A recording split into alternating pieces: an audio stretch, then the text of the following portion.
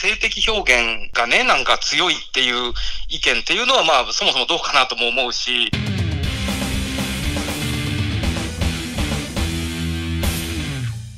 ロリコンにちは、松尾田です。今日はですね、バーチャル YouTuber の、僕が大好きなね、バーチャル YouTuber のキズナ愛ちゃんが、炎上というかね、炎上ではないんですけど、なんかあの、論争をね、激論を、に巻き込まれてるみたいですので、それについてちょっと今日は話をしていきます。皆さんの意見もね、ぜひコメント欄で教えていただけると嬉しいです。それでは行ってみましょう。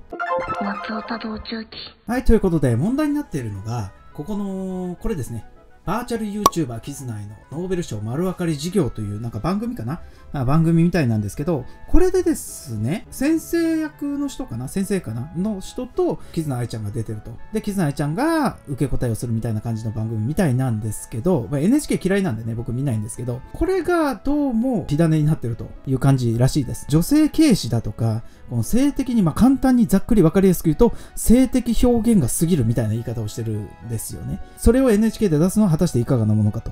いう感じらしいです。ただね、僕から言わせてもらうとですね、これあの、性的に露骨かなと、こう普通じゃないかなと思うんですよね。現代のアニメの絵ってこんなんじゃないですか。最近ね、あの、ほら、あの、こっちの絵にが普通になってきて、こっちの絵に寄ってきてますよね。ゲゲゲの鬼太郎、猫娘とかね。なので、別にこれ普通なんじゃないかなというのが、まあ僕の意見です。僕は、キズナイちゃんのファンですけど、それを差し引いたとして、見たとしても、この発言は果たしていかがなものかというところなんですよね。あまり過敏になりすぎなんじゃないかなというところがあります。で、これがね、ダメって言うんだったら、例えばですよ、セクシーを売りにしてる橋本まなみさんとか、壇蜜さんとかね、杉本彩さんとかいるじゃないですか。こういう人たちは NHK にふさわしくないという風になるわけですよ。この若者向けだと思うんですよね。ノーベル賞のことを教えるっていうのがね。若者の注目を集めたいからこその、この絆愛ちゃん。世界的にね、人気のキズアンアイちゃんの起用だったと思うんですよね。結局合ってるんですよね。それワーキャー言ってる人に関しては、ノーベル賞とか何かって知ってる人たちだから、別にここリーチしなくてもいいわけですよ。それをわざわざ言ってくるっていうのは果たしていかがなものかと。僕みたいなね、アニメ好きからしたらこれ普通なんですけどね。松尾道中期。ということでね、あの、キスナアイちゃんのファンでもなく、なんか別にその NHK のファンでもなく、フラットなね、感じでの人としてね、ちょっとね、のんちゃんに電話をしてみたいと思います。のんちゃんの意見聞いてみましょう。もしもし。はい。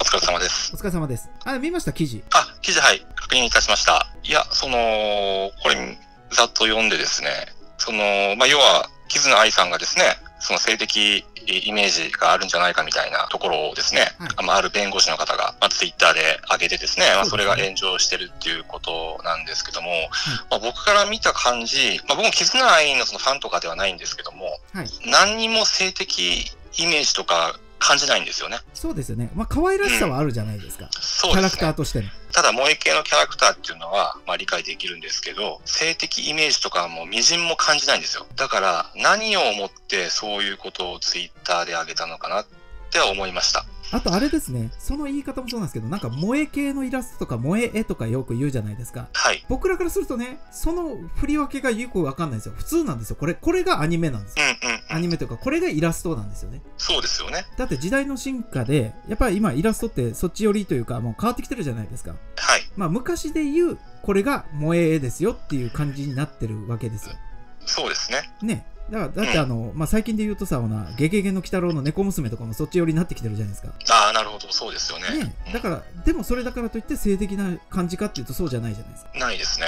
でもやっぱ、その、弁護士の側からすると、やはりその、やっぱり、その、許されるべきところ、なんか許容範囲、許容範囲じゃないけど、そういう、どこまでが OK でどこまでがアウトかみたいな、そういったのは人それぞれやっぱ違うじゃないですか。弁護士の方から見るともこれはアウトなんだろうなともまあ思いましたけど、例えばあの、ね、シースルーの全身タイツとか着て YouTube に出たりとか、はいはい、そういったのは、まあ、完璧僕、僕からすると、アウトなんですよ。ありましたね。それダメ、うん。アウトなんですよ。だけど、それをやっぱ OK って思う方もいらっしゃるんで、そういったやっぱり人それぞれの許容範囲の違いっていうのも、これちょっとね、結構出てるなっていうのを感じましたね。なるほど、ね、でもセクハラもそうですけど、まあ、ここまで OK とかアウトとか人それぞれ違うじゃないですか。そ、ね,、それと一緒で、やはりこういったキャラクターとかに関しても、やはりそういった違いが出てくるのかなって思いましたね。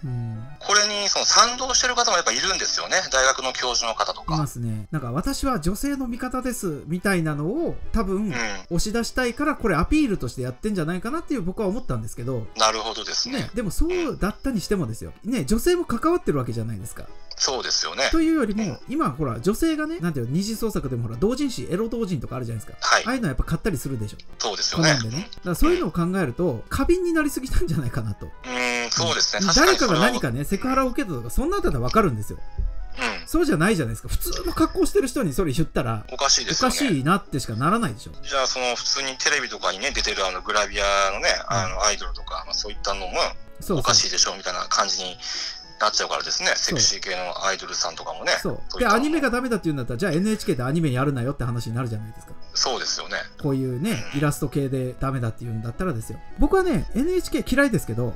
これ、キズナアイちゃんを起用したのは、本当にすごくあの、ちゃんと時代を見てるなとは思いました。それは僕もですね、思いましたね。結構やっぱ世界的にね、ファンを獲得してれば、日本初のコンテンツとも書いてありますからね。ね。結構日本に貢献してるキャラクターなんですよ。なんか、まともな意見を言いましたね。うん、まともに喋れます、たまには。はいはい。すいません。ありがとうございました。あ、よろしいですかこんな感じで。はい、さよなら。あ、はい、どうも、お疲れ様です。はいどうも、失礼します。松尾多道中期はい、ということで、のんちゃんに電話してみたんですけど、まあ、まっとうなこと言ってましたね。続いてね、ちょっと二階堂さんにも電話してみたいと思います。そうです。あ、どうもお疲れ様。です。あの、記事見ました？なんかあメルマガにも書いてましたね、キズナアイちゃんの。あ、いや、あれでしょ？いや、あの、まあ、そもそも、その、キズナアイちゃん自体のイラストって結構クリーンじゃないですか。エロ要素とかっていうのを全然盛り込んでないので、はいそこに関してその、性的表現がね、なんか強いっていう意見っていうのは、まあ、そもそもどうかなとも思うし、それだったら CC ガールズの方がエロいもんね。そうですね。そう。だから、性の対象っていうふうに考えると、結局じゃあアイドル、女性アイドルはどうなんだっていう話とかにもなるわけじゃないですかそうで。すね。そこをね、ただ単にその、萌え系イラストがどうだっていうところで言いたいだけなんじゃないかなっていうのは思うんですけど、そうですよね。で、さっきね、うんのんちゃんと電話して話してたんですけど、はい。自分が女性の味方ですよっていうのをアピールしたいだけじゃないかなって思ったんですよ、ちょっと。ああ、そうですね。その道具に使ったっていう感じですよね。だから、ねなんかそんな気はしますよね。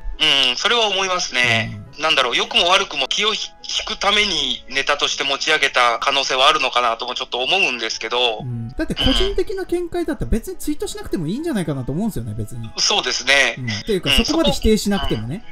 そうですね。うん。だからそこをあえてやっぱり言うっていうことは何かしらやっぱ周りに対して自分っていうもののアピールっていうふうにしか思えないので、そうですね。そう捉えられても、ね、うん、文句は言えないですよね。ですよね。うん、そう思いますね。大体ね、結構多くの番組でその司会者の例えば人間がいたとしてもそのね、なんか脇にアニメのキャラがこう二次元のキャラがいたりとか、まあ 2D だったりもしますけど、しますよね。2D というか、あのか、ね、ディフォルメのキャラだったりもしますけど、うん大体こう出てきたりするわけじゃないですか。はいはい。だからそういうのに対しては言わずに、今回に関して言うっていうのはちょっと筋が通ってないかなっていうのは思いますよね。そうね。僕もさ、ほら、キズナアイのファンじゃないですか。はい。でもそれをね、引いたとしても、ちょっと今回はなんでこんなこと言ったんだろうな、みたいな感じなんですよ。そうですね。まあ疑問ではありますよね。ねほはいシーンを知りたいですよね、なんかね。そうですそう、ね。なんかやっぱなんて言うんでしょう、こう、営業活動というか、まあそうね、ビジネス系の人で言えば、Facebook にさ、あの、はい車、高級車買いましたとかはい。さ、ああ、はい。って言ってるような感じじゃないですか。そうですね。自分のアピールですよね。だからね。うん営業活動と集客とっていう風にして乗っかったんじゃないかな。だとしたら、やり方はうまいなとは思います。まあそうですね。確かに。うんビジネス的な視点で見るとですよ。はい。そうは思いますね。ねまあうまいやり方だなとは思いますよ。ね ただ、ちょっと、まあ、言ってることはね、なんか、あの、わからなくもないレベルではないじゃないですか。わからないじゃないそですか、すねわからないですえね。何言ってんだろう、この人ぐらいのレベルですよね。はい。そうなりますね。ね。はい。だってなんかこう、女性を守りたいみたいな感じを出してるんでしょうけど、結果女性を攻撃してるじゃないですか。これイラスト描いたの女性だったりとかっていう、そうですね。はい。意見もあったんで、弁護士ってそんな感じなんですか？どうなんでしょう まあ、これをね、またね、弁護士全体でって言っちゃうとあれですね、またね、あれが、ね、うん。ただそういう風に思われても仕方ないですよね。ああいう感じのことを言ってると。えらい攻撃的ですよね、なんかね。そうですね。だって NHK なんて特にその NHK 側自体がクリーンにやりたいっていう意識のもとでやってるわけじゃないですか。はいはいはい。で散々多分、まあ社内でも多分反対意見も出たと思うんですよね、当然。はで、その上で協議して決まったことっていうふうに考えたら、申し訳ないけど、一弁護士が単純にただ否定するっていうのはちょっとまあどうかなとも思いますよね。うんしかもね、人の目に見えるとこでわざわざ言ってからね。そうですね。謎ですね。そうですね。僕さっきも言ったんですけど、はい。NHK 嫌いなんですけど、まあ、あはいこれ、絆愛ちゃんを起用したことは、あ、時代をちゃんと見てるなと思いまあ、した。それはありますね。うんはい。これどこまでそうすね行くかですよね、この話がね。まあ多分 NHK ね相手にもしてないと思うんですよ、多分。はい。そうですね。で、反論も何も出してないわけですから。うん、そだってうですね、。実際に絆愛ちゃん擁護の方が声が多い多いので、はい。そっちの意見が多いわけじゃないですか。そうですねう。ん。だから時代についていけてないっていうだけで終わらせるんじゃないかなっていうか、まあまあ世間の目もそれで終わりなんじゃないかなと。そうですね。まあ貴重な意見ありがとうございました。いえいえ。じゃあいつものグッパもお願いします。はい、わかりました。次の回も一生懸命頑張ります。ごきげんようグッパあ、これやっぱちゃんとグッパって言ってくれるんですね。チャンネル登録お願いしますスマホタブレットでもタップできるよ前回の動画おすすめ動画もチェックしてねしていたい